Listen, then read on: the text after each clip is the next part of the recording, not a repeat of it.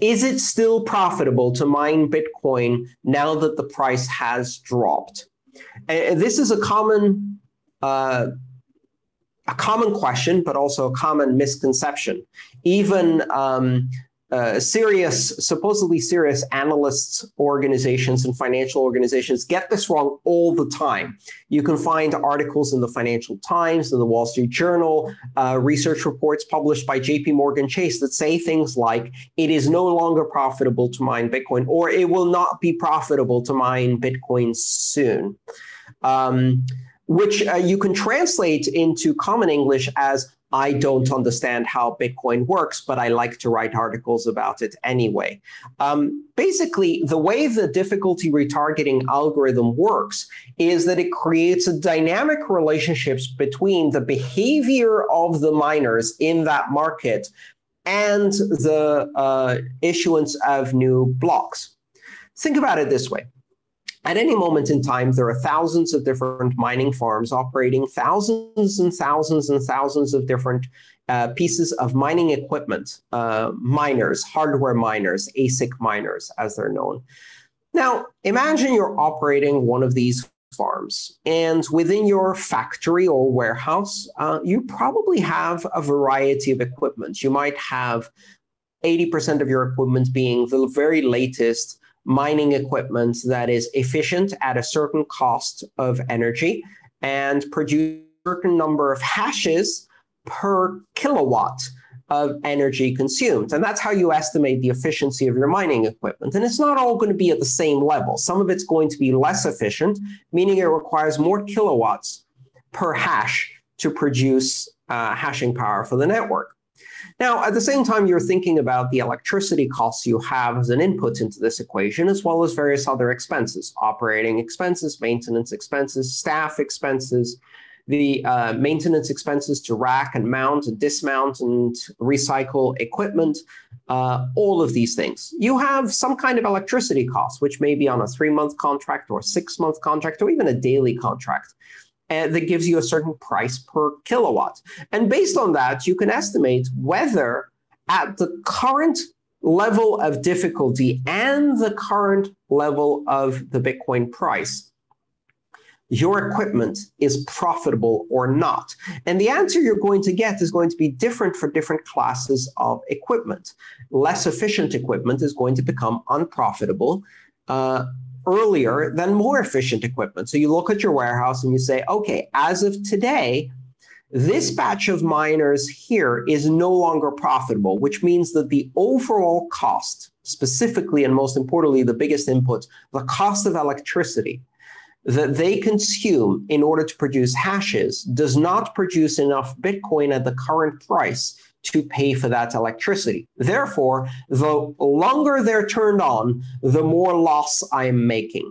So you've passed the break even point. That specific group of miners is no longer profitable. You may have in your warehouse other miners that for every kilowatt of electricity they're consuming at the current price, are generating enough Bitcoin from mining on average that um, they pay for the electricity and then make a profit and pay for all of the other maintenance costs and continue to make a profit. Those are profitable. Some of your equipment isn't profitable. What do you do? You turn that equipment off. It's very simple. You turn that equipment off because as long as it's working, it's consuming electricity without being able to pay for that electricity. So you turn off just the equipment that's not profitable and you leave on the equipment that is profitable. Now, imagine this happening as a ripple effect across the entire industry. And this is something that happens on a day to day basis. Miners all around the world, thousands of them decide to turn off or turn on new equipment. And they're constantly replacing equipment. They have truckloads of ASIC miners in their loading docks that they have to mount and install and at the same time they're taking out old miners that, that are no longer profitable. So there's constant churn. Now imagine as an industry the, the most profitable of mining farms the ones that have the lowest operating costs the best location the best electricity price the lowest staffing costs they remain profitable while others even perhaps at the same electricity cost because of higher maintenance staffing location costs etc are no longer profitable. They may turn off their entire warehouse And what that does is when they do that, it reduces the hash power across the entire network. The amount of hashing happening drops. And you will see that happening all of the time. It goes up and down and changes. It's highly volatile. Uh, so it changes a few percentage points every hour as the hashing power, as new machines are turned off, old machines, sorry, new machines are turned on, old machines are turned off, warehouses suffer power cuts, new warehouses are turned on, etc. If a large number of miners are finding it unprofitable and turn off their least profitable equipment, that drop in hash power causes the difficulty retargeting after two weeks. When the difficulty retargeting happens, the miners who are still operating will be more profitable because as the difficulty gets lower, their hash power generates more Bitcoin for the same amount of electricity use, right?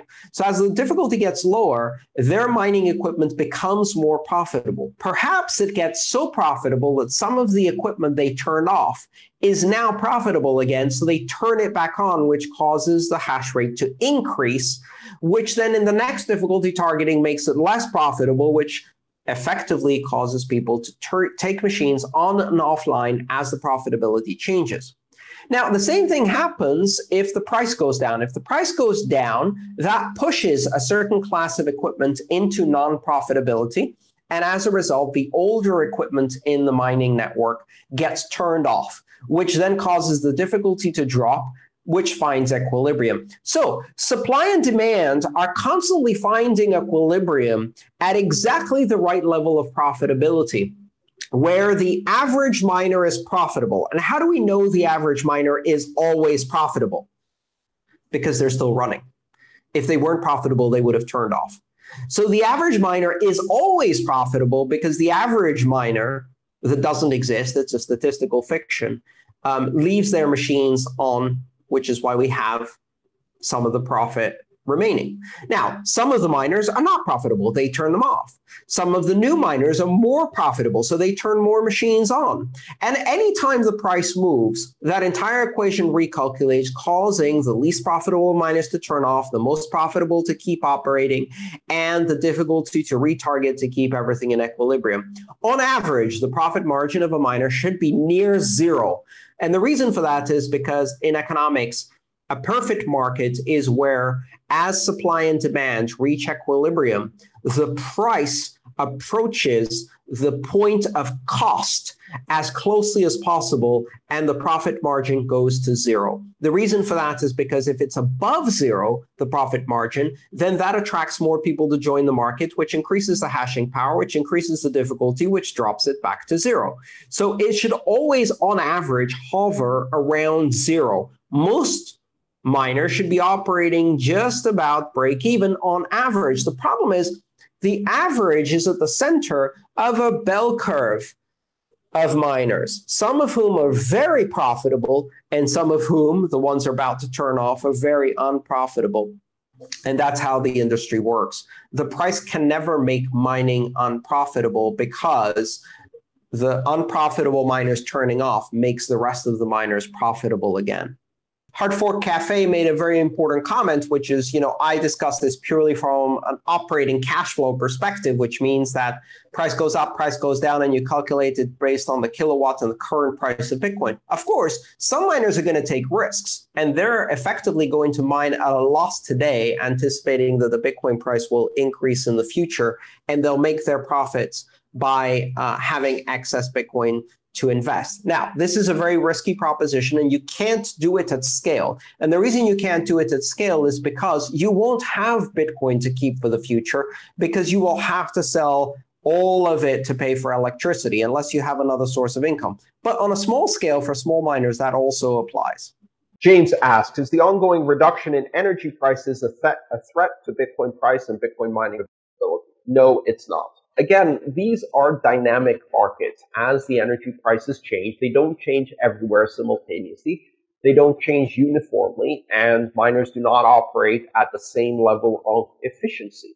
So the miners who uh, gain an advantage due to lower energy prices will be able to make slightly more profit than the miners who don't, which is going to change the market slightly, gradually, and in different places at different times. This doesn't happen all at the same time. A reduction in energy prices probably simply shifts the mining uh, industry to other forms of energy where um, there are opportunities to use cheaper energy. The cheapest form of energy we have on the planet is not a particular production method, but rather has to do with supply and demand. The cheapest form of energy is energy that is not being consumed, excess energy that is being produced but cannot be distributed or consumed. So the cheapest form of energy is surplus energy produced in locations where it can't easily be distributed. And we find that miners gravitate towards these sources of energy because that's where the price drives them. So effectively, uh, Bitcoin mining in many cases acts as, as a mechanism for monetizing energy that would otherwise not be consumed, but is being produced anyway due to imbalances in production. For example, you have uh, renewable energy that is being produced whether you need it or not by wind, by solar, by uh, things like that, uh, hydro, etc. And that energy, if it can be distributed, is wasted. It doesn't go anywhere. You still produce it. You can't turn off uh, a solar panel. Um, well, you can't profitably anyway. Um, so it produces whether you need it or not.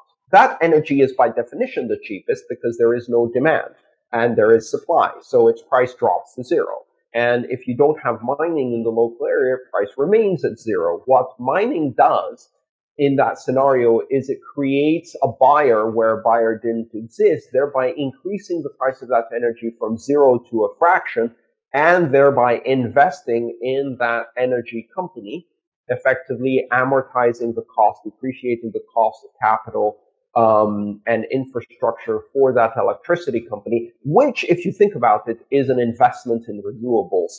Um, so reduction in energy prices uh, doesn't damage Bitcoin price or Bitcoin mining profitability. In fact, what it does is it increases profitability for miners but it also increases profitability for electricity companies, specifically in renewables that have this characteristic of oversupply, um, and therefore invests in renewable energy, uh, which is great. Lewis asks, after 2140, when the Bitcoin block rewards go to zero and all coins have been issued, should we expect transaction fees to rise as an incentive to maintain and secure the network? Lewis, transaction fees will rise long before. This is a gradual change. With each halving, the profitability of miners changes and uh, the basis on which uh, the difficulty price um, and profitability of mining equipment determines whether miners continue to mine or disconnect their equipment, thereby reducing the difficulty, thereby making more efficient miners more profitable, et cetera, et cetera, et cetera. This is a constant calculation. It happens every two weeks for every miner in the world. And based on that, that puts pressure on fees and it creates both the fee market, the difficulty market, the mining market, and all of these markets that operate um, independently, but with some overlap and some price signaling between them. So fees will uh, be considered as part of this profitability equation. They are considered as part of this profitability equation all the time. Um, and they're considered today. You don't have to go to a zero block subsidy for miners to consider how much fees are contributing to their profitability. That's part of the equation today. And that equation constantly changes, at least every two weeks, um, but also affected by other things like the price of electricity, how efficient the mining operations are, their staffing costs, uh, their ability to install new equipment and remove old equipment, et cetera, et cetera. Um, so we will see transaction fees respond to market pressures, um, but so many things change between now and 2140, including the block subsidy, the capacity of the network, the efficiency of storing transactions, various new technologies, etc., and of course the price Bitcoin. The, by the time we get to that point, um, the number of transactions supported on the network, the nature of the network, how much of it is happening in layer one and layer two, all of these are unknowns. And the market has will have long adapted to these new realities before. It's not like we just go blindly up to 2140 and then something dramatic happens. It's happening today every single day by every single miner in a free market economy. Price discovery, profitability calculations are happening every day. Nothing sudden happens. It's a bit like your 18th birthday, right? Um, you know, it, you don't suddenly become an adult overnight and wake up the next morning and go, I'm an adult now. You know, maturity has been building all the way up to that point um, it's a gradual process. The milestone, the checkpoint itself is relatively meaningless.